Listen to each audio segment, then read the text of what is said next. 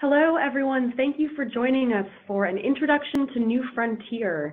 Uh, I am Margaret Sargent. I work on our marketing team, uh, and I have spoken with many of you in the past. Uh, and I'm very pleased to be joined today by our CIO, Robert Michaud.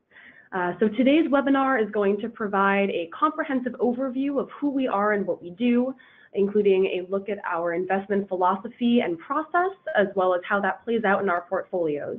Uh, then we'll have a couple of quick notes on marketing resources that are available to all of you, uh, and then finally some time for Q&A at the end.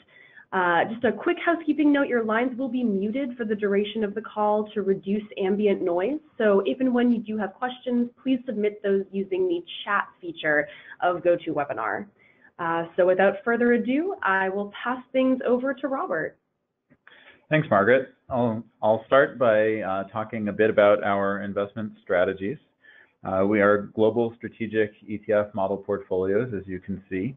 Um, but I would like to say that strategic does not, however, mean very simple portfolios with a very simple process that stays the same over time.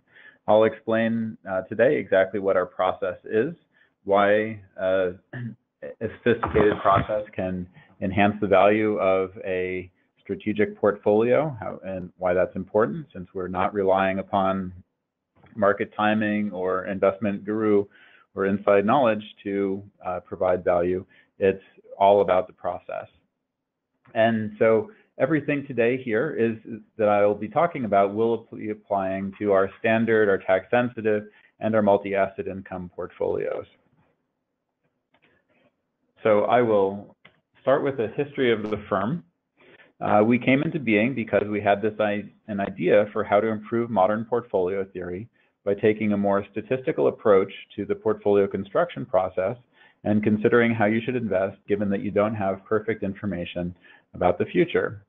So we really started as a research and advisory firm, but then we quickly transformed into a technology company to spread these ideas through our software. Our technology business was doing quite well and was being used to manage over a trillion dollars. But given our asset management background, uh, we were waiting for the right time to manage portfolios ourselves. So in 2004, uh, we became an ETF strategist. A number of things had aligned. Uh, the prevalence of ETFs, uh, as well as advisory platforms that it made it possible for a firm like us to really focus on investments while uh, AssetMark um, and, and now other uh, platforms uh, have made it possible for advisors to get access to uh, our ideas in a, a pure form, and uh, neither of us have to do all of the back office type of work um, that had been required of individual investment companies. So uh, 2004 seemed like the right time to start. This actually made us one of the original ETF strategists, especially considering that there were maybe other firms at the time that were making tactical moves and using ETFs for their liquidity, but I believe we were the first true global multi-asset class strategist that focused on portfolio construction. And so it's really been fun to be around uh, right from the beginning. Um, but going back to our ideas, uh, we do a lot of research on many problems in investments, portfolio construction, and uh, and measuring uh, risk in portfolios. Uh, we publish in refereed journals. We've written some books. And uh, our original book was actually uh, quite unique, uh, listed up there. And this was a, a, actually commissioned by a number of Harvard Business School professors who are looking for the world's expert on asset allocation and portfolio construction. And so they asked us to write it. And not too many people can say they got a commission like that. Um, so you can read about many of the ideas uh, that are actually used in our investment process in our portfolios uh, in this books and in our papers. Um, many of them are patented, so you can uh, read about it through our patents.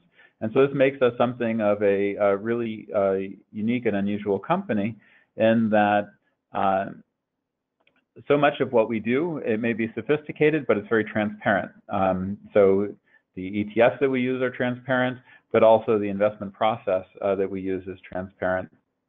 And uh, furthermore, we're using uh, our research ideas uh, as uh, both that are implemented through our software, and we're using our own technology to build portfolios, and um, and uh, and so this also uh, makes us something of a different company, uh, having both a technology and an investment focus.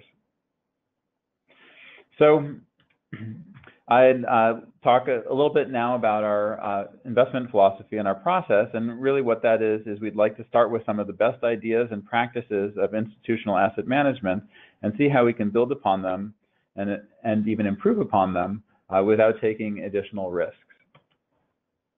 But let's start off with the things that we avoid.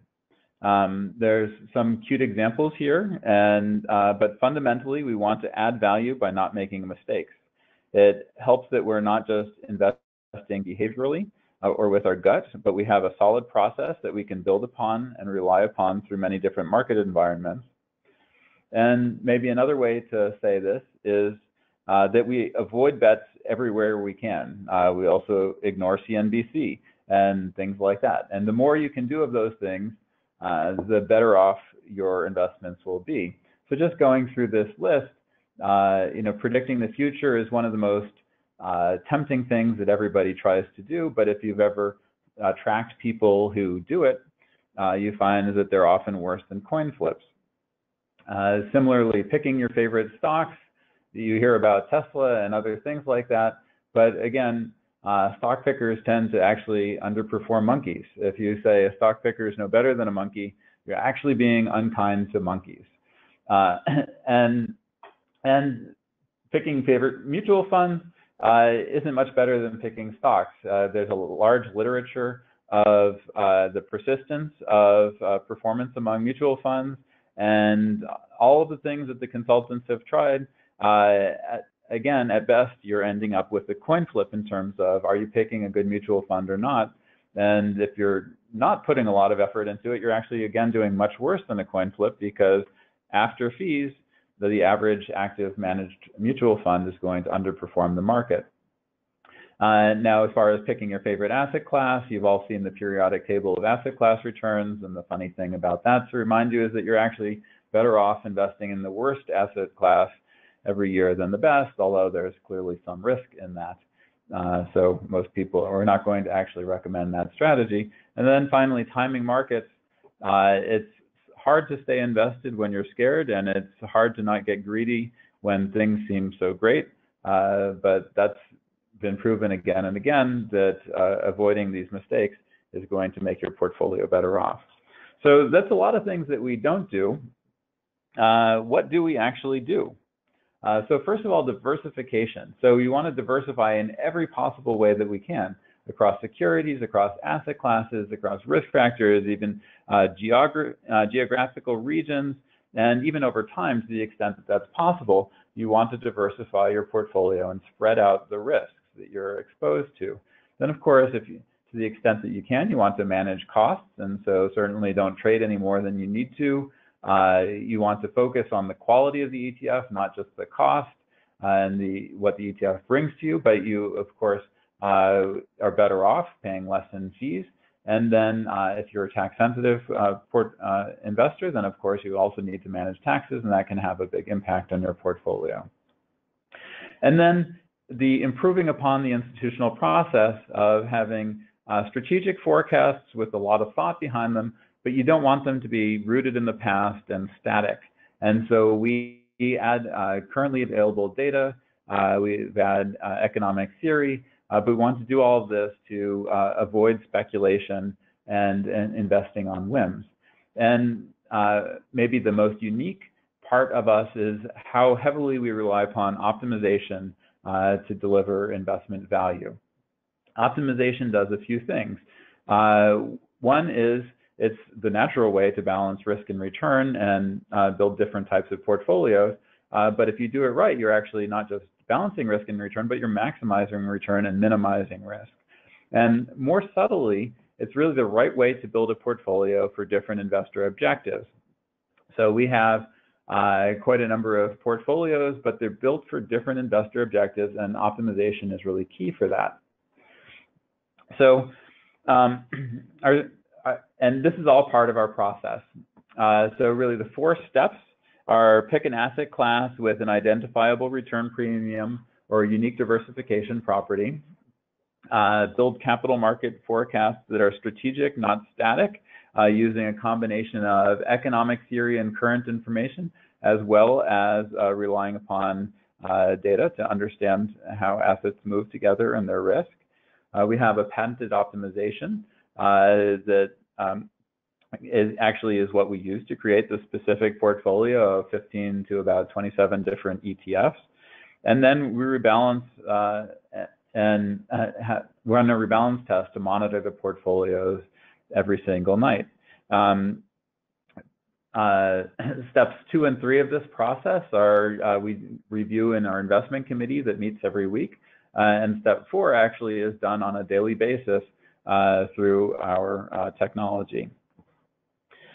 Now, this uh, process applies to all of our strategies. They have the same investment committee, the same capital market assumptions, similar ETFs that they could be investing in, but we're using optimization to build them for a very different uh, investment objectives. So one way that uh, investment objectives are stratified is through risk. So a conservative portfolio and an aggressive portfolio need to have very different considerations in how they're built rather than just putting uh, the same thing in them, but more stocks or more bonds.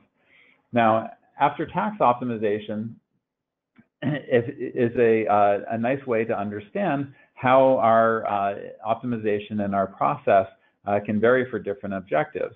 Now, what some people will do when they go from a, a standard to a tax-sensitive portfolio is just take out their uh, aggregate bond funds or their treasury bond funds and put in municipal bond funds. Now, uh, clearly you can do better than that if you have an optimization process uh, that lets you do things specifically. So first of all, what we do is we will um, redo the capital market assumptions for a high marginal uh, tax in, uh, rate investor. And so this requires an understanding of not just taxes, uh, but also uh, how what percentage of the dividends from these ETFs are qualified, and uh, and then you can adjust the uh, risk and return estimates for every individual asset class to be more reflective of what a, um, a tax-sensitive investor would actually uh, receive from those. Uh, and you, uh, in addition to that, you do need a good understanding of how the portfolio turns over and how much capital gains you're likely to realize over time. So we build this into our process to make uh, new tax-sensitive um, uh, capital market assumptions, and then have an optimization process that explicitly uh, takes the tax impact into account to build a tax-sensitive portfolio. And you get a much more appropriate portfolio for taxable investors. So instead of just swapping into the municipal bond fund, you have, in addition to that, uh, subtle but important shifts, maybe away from value stocks uh, and a little bit more towards growth stocks, but also for some of these asset classes like REITs, uh, which we don't want to just uh, get rid of entirely because they may still have some valuable diversification properties, uh, but they're less valuable because of the way that they uh, return a lot of, um, they provide a lot of return to investors through uh, less tax advantaged income. And then finally, our uh, income oriented portfolios. These are built for a very different type of investor. They're built for an investor who's not just thinking about the total return of their portfolio, they're thinking about the how reliable the income is and how likely that income is to grow over time. And you might notice that there is only profiles two to four, uh, so they do not span the very conservative and very aggressive ends of the risk spectrum. And that's because that uh, we don't believe that these are actually appropriate. If you're in a low interest rate environment, there's no such thing as a ultra conservative income um, type of investor. And also it doesn't particularly make sense to have an ultra aggressive uh, income investor. So um, let's move on to uh, ETFs and how we choose asset classes. So uh, we are a independent uh, manager, so that leaves us free to pick our uh, the ETFs that we think are best for the portfolio and best for investors. And um, there are definitely not our full list of ETFs um, up here, but what we wanted to do is uh, show you that we get exposure to uh, different risk premia, value, size, uh, volatility, uh, different geographical regions, uh, Europe, Pacific, emerging markets, uh, even single country exposures. It's important to note that we do not ever bet on a single country, but there may be times where we need exposure to a single country, like China, for instance, because it's it's not well represented in the broad indices that we use, and that it's important for diversification properties. And then, of course, we have uh, real estate, uh, gold, and a variety of domestic and international uh, fixed income as well that allows us, again, to have exposure to the fixed income risk premium, which is most notably uh, duration and uh, credit risk. Um, so on to how we build our capital market assumptions. So this is the core of where our strategic but not static investment process begins. So we want to go beyond uh, just looking at historical data. Uh, historical data is highly unreliable in terms of what it says about the future. Uh, we know that the past is not going to repeat itself, uh, but there is some information that you can get from the past, uh, most notably the, uh, an understanding of the volatility of asset classes and how they move together um, but very little information about future returns. So we use sophisticated statistics to separate some of the signal from the noise of historical data, but then we have to build that back up with economic theory is quite important. Uh, things like uh, the literature on uh, the various risk premia, like the value uh, premia or the biggest of all, the equity uh, premium, to see what a reasonable expectation is for how much stock should be uh, likely to outperform bonds going forward. Uh, but I'll, and then uh, finally, uh, the last piece is current information. And so current information can be very visible signals like the yield curve. It can be short-term volatility estimates. It can be ways to improve uh, with things that we actually know from the market today what our understanding of risk and return among all the different asset classes is right now.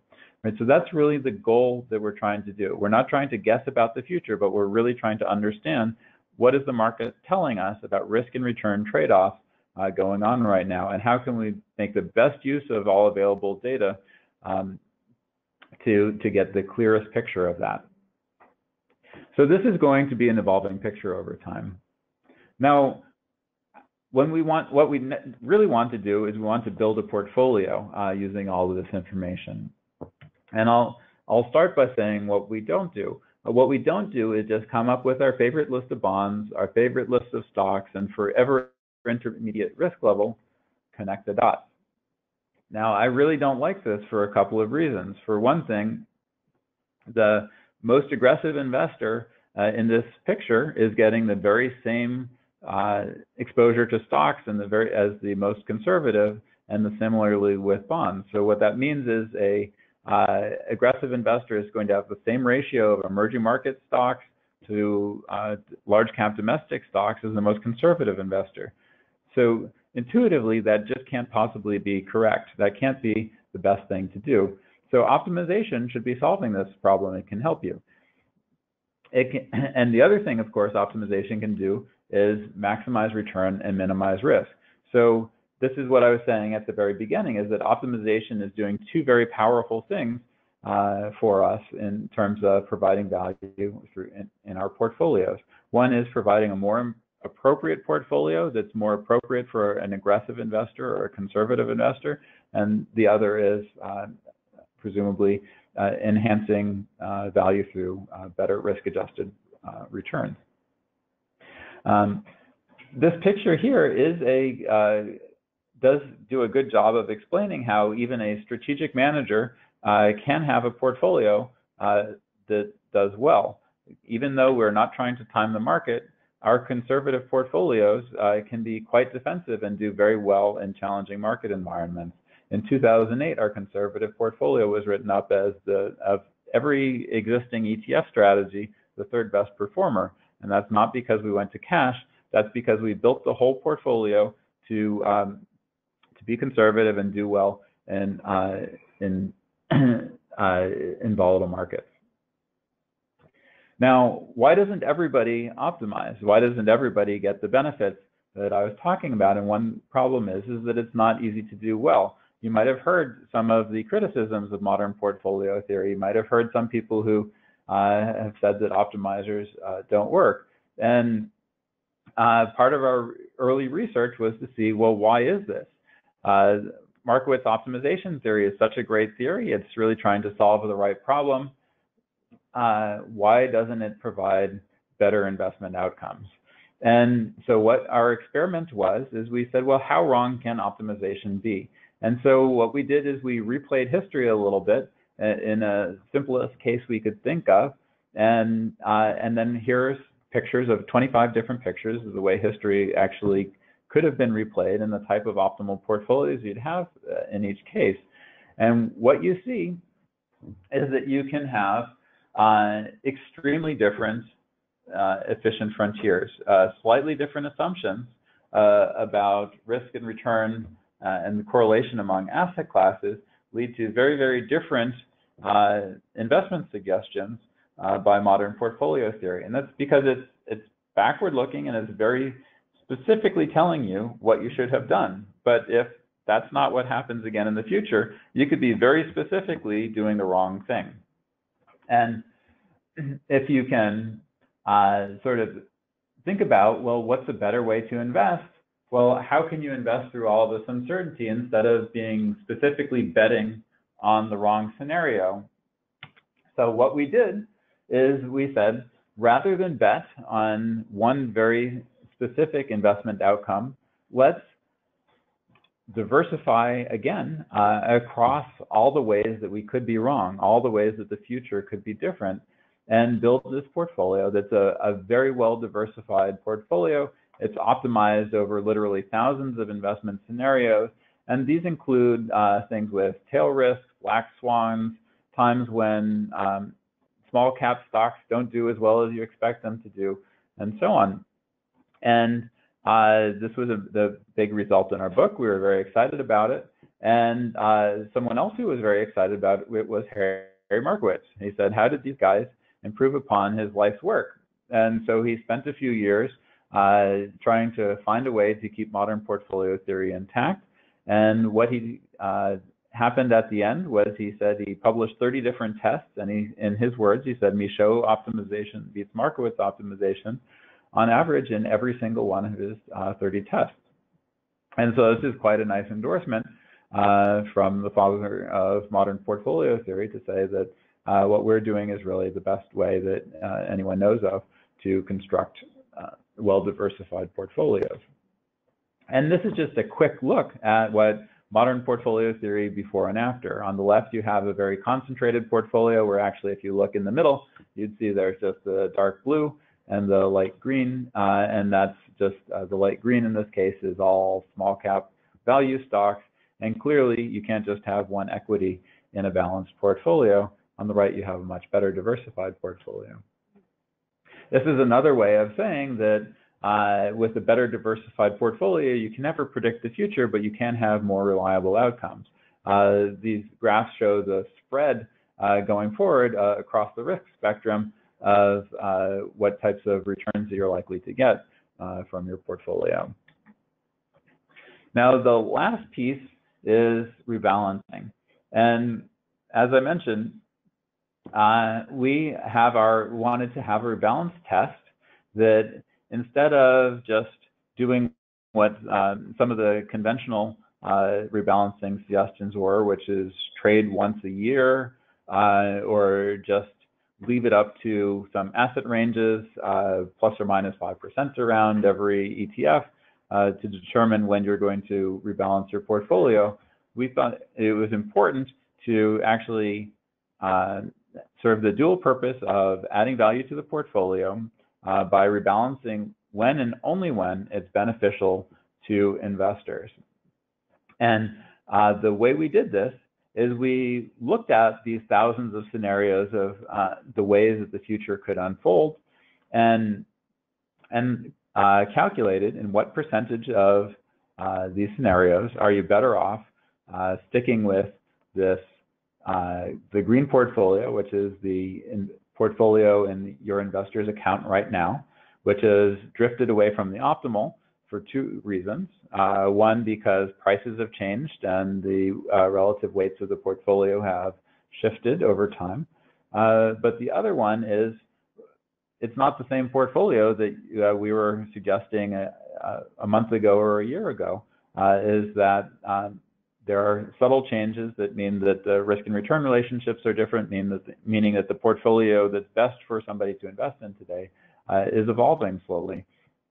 And so we wanted a way to uh, measure uh, in a in a rigorous sense, without just uh, using our gut, to say uh, what percentage of the time, uh, what's the likelihood that an investor would actually benefit from having their portfolio rebalance. So this is the rule that we use to determine when to trade the portfolios. And uh, in the last 13 years or so, we've rebalanced our portfolio between one and three times every year. So that's the end of our process, and I would like to uh, sort of do a quick refresh and then uh, dive into a couple more points after this. Uh, so we're extremely globally diversified.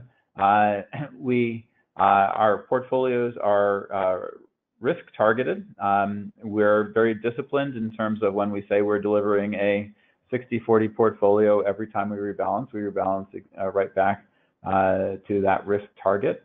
Uh, our portfolios are designed to be optimal uh, not just over the short term or just over the long term. They're designed to uh, be the efficient at every point in time. one thing way that I like to um, explain this is that we can't guarantee an outcome at any particular point in time. Uh, I don't think anyone can. But what we can do is try to have a portfolio that's invested as intelligently as possible at each point in time uh, so that we have the right risk exposures and the and um, and the right portfolio for any investment objective. And a way I like to think of this is uh, we're suggesting uh, that the that there's a coin that's likely to be heads slightly more often than not, and so although we can't guarantee the next flip, we can say that a consistent strategy of betting on heads is the best thing to do for every single flip. And we can say that if you get enough uh, observations of this, then we can say with very high confidence that this will indeed be the right strategy, not just uh, ahead of time, but also the strategy that you'll be happy to have had uh, going through.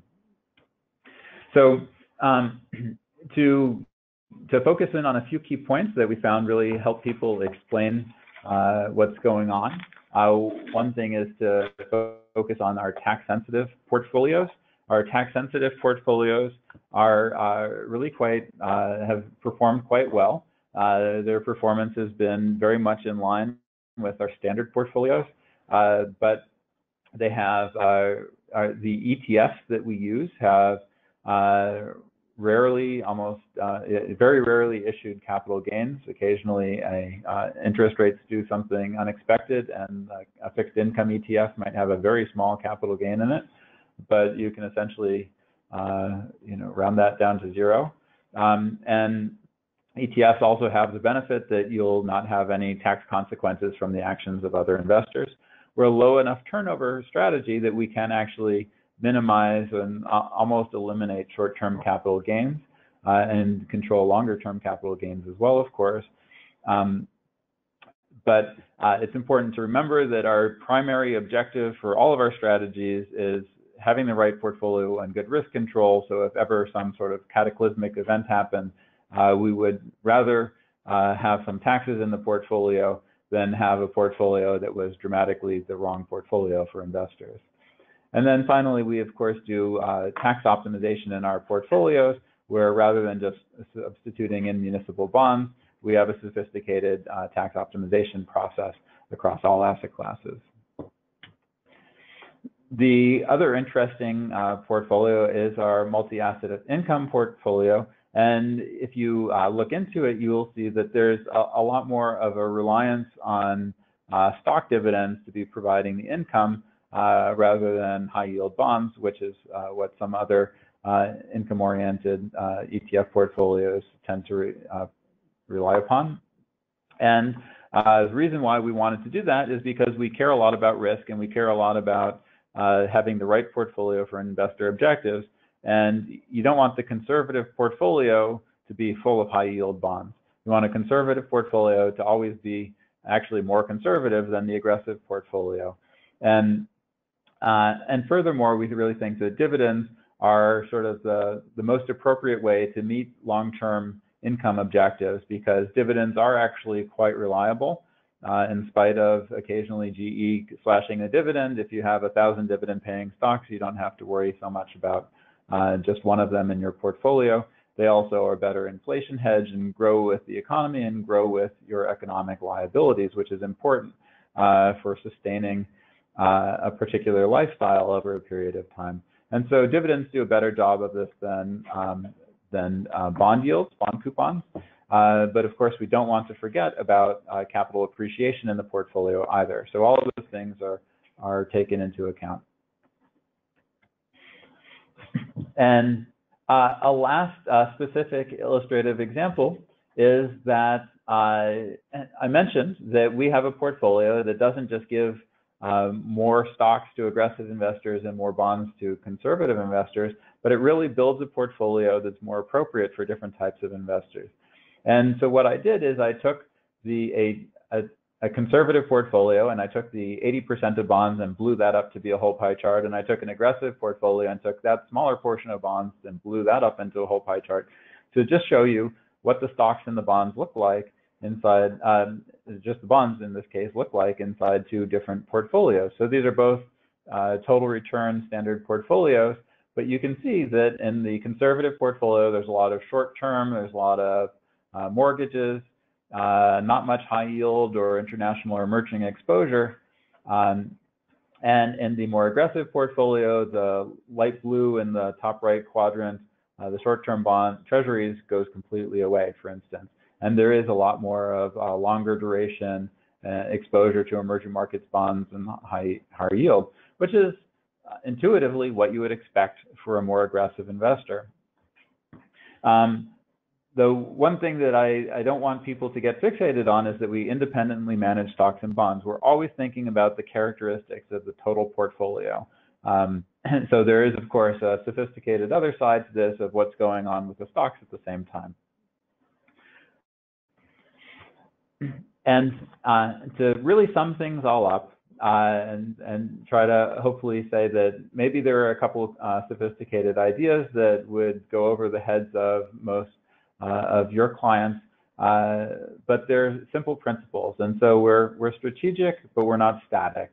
Uh, so we're not a fickle investor, but all of our decisions are based on evidence and data and we need to adapt to the market when it changes. We don't want to just be looking into the past, and we don't want to be blind to the future. Uh, then we don't gamble. We avoid bets of every conceivable kind. And so there's all the conventional bets of market timing and picking asset classes and stocks, uh, which we avoid, of course. Uh, but there's the more subtle bet of uh, betting on just one market scenario, betting that small cap and value are going to be the only thing that you need to have in your portfolio uh, because they'll continue to outperform as well in the future as in the past. Um, we want to position our portfolio to perform across thousands of plausible market scenarios and, and many ways uh, that things could work out in the future. And then finally, we're best at what matters most. Uh, we're a, a, smaller company and we can compete and we have competed and we've had uh, quite favorable performance uh, compared to many major Wall Street firms that we've seen have their strategies come and go. And that's because we've uh, always focused on the process and we focused on asset allocation uh, where we can add more value than any other part of the investment process. Uh, we don't need actively managed funds. Uh, if we can do smarter asset allocation. So that's it. I'll pass it over to Margaret.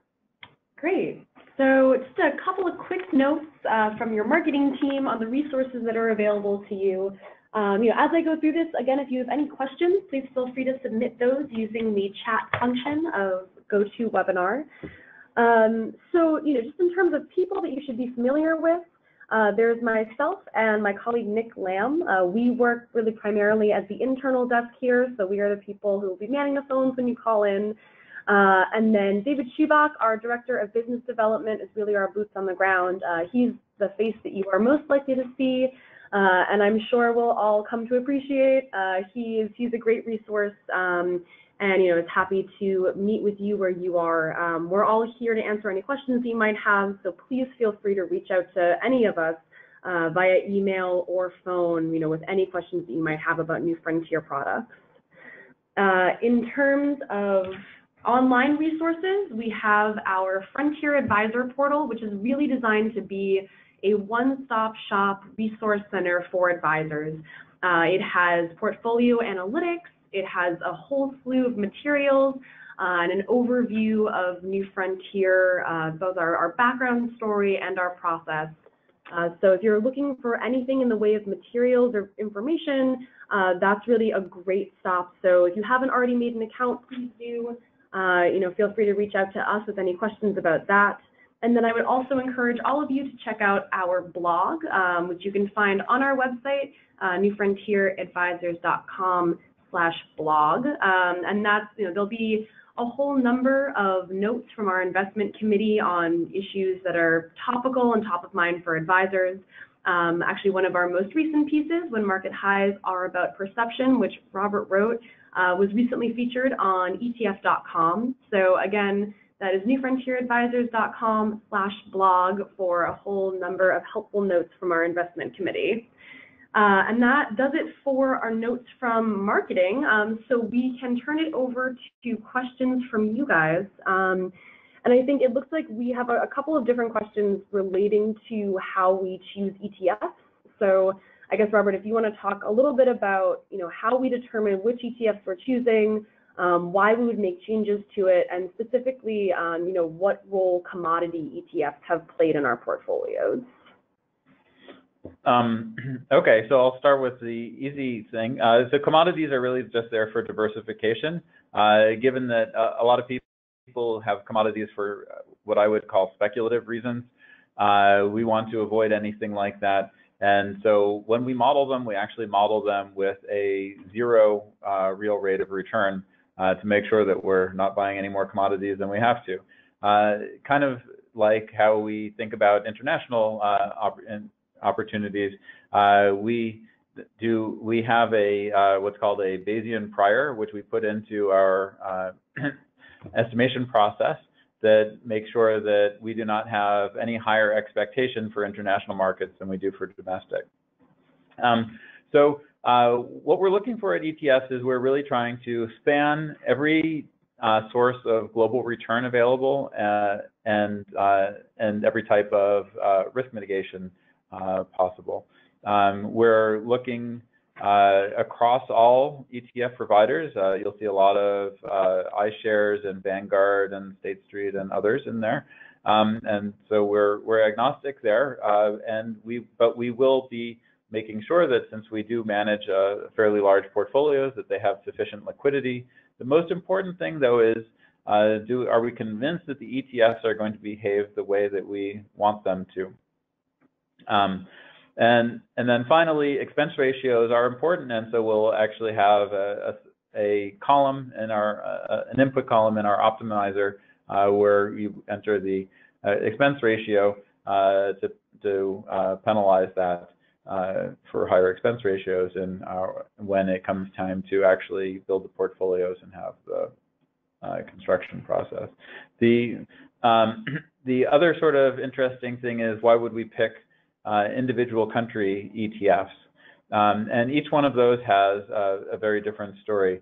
Um, there's been times uh, several years ago where everybody was talking about BRICS. You know, if you're, why is anyone investing in anything other than those? And um, and so what we actually did is we wanted to have a a, a really uh, rigorous way to be able to test.